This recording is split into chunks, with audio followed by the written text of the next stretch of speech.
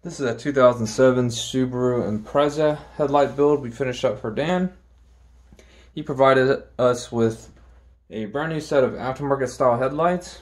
These are chrome housing with a factory white DRL. Now the original projectors are halogen, so of course we swapped those out with a set of Mini H1 bixenon, giving him full HID performance.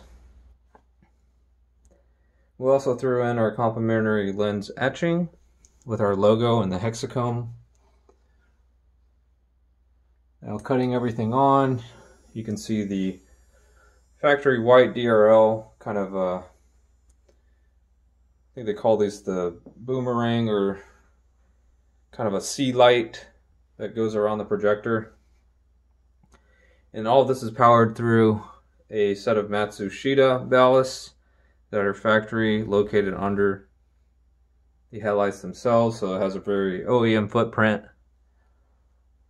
No need to tuck ballast anywhere. They're mounted directly under the headlights. Really clean and simple.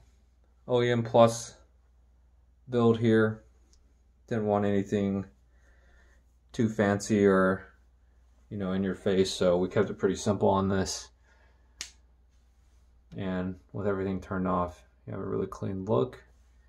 And again turned on this is the HIDs and the DRL um, most of the actual lighting in this headlight is LED um, that corner amber signal is actually LED as well. And of course the main headlights are going to be a uh, HID system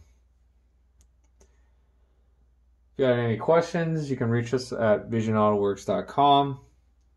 Give us a call or email if you have any questions. Someone will be available to speak to you about ordering a package just like this.